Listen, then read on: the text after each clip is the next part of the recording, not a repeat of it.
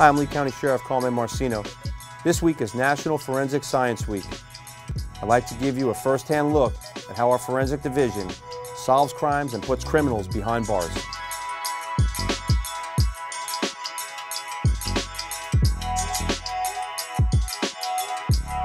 The importance of the fingerprints is that they're eclectic. No fingerprint has ever been found to be the same, even in identical twins. Their DNA can be the same, but not their fingerprints. That's the great part about having and working in fingerprints because you know they're eclectic and you know that person, if you make a hit, they actually did the crime. Some agencies actually have crime scene techs that actually do latents.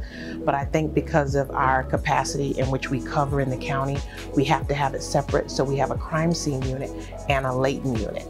So when a crime occurs, we have our crime scene to go out to that crime scene, lift fingerprints, and then they bring it to us to analyze. And what they do is once they lift the latents, they turn into evidence. We get the prints from evidence and we deem them sufficient or insufficient. If we don't have suspects that the detectives have submitted to look at, that's when AFIS comes into play.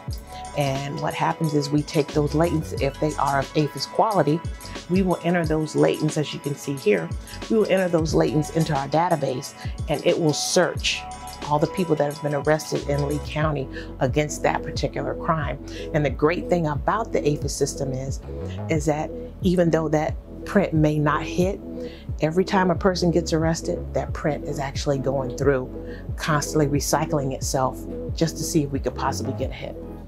We have to be able to bring the scene as we see it that day into the courtroom. The end goal is the courtroom and um, justice for the victim and for the families. The documentation, of course, we start out with anything that's least invasive to the most invasive of the processing. Least invasive would be our crime scene photography, doing a sketch of the scene, taking our crime scene notes that would help us later to transcribe them into a um, crime scene report. Most invasive is where we get into any type of searching or chemical processing at the scene. It could be chemical processing for latent, it could be for processing for blood, or other biological fluids at the scene. Our documentation has to present the scene to the jury and the judge as we saw it that day. Everything that we do is to preserve the scene.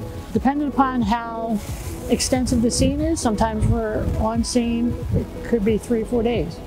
We have evidence markers that get placed on items of evidence. And that does two different things in the documentation phase. One, it helps keep the technician organized at what they're doing.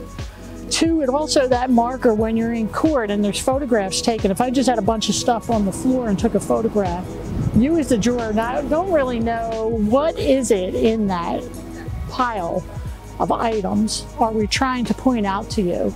But the minute I put a marker on a knife or a gun, it draws your eye in to say, oh, I see what they want us to look at. The smallest piece of evidence can make the biggest difference.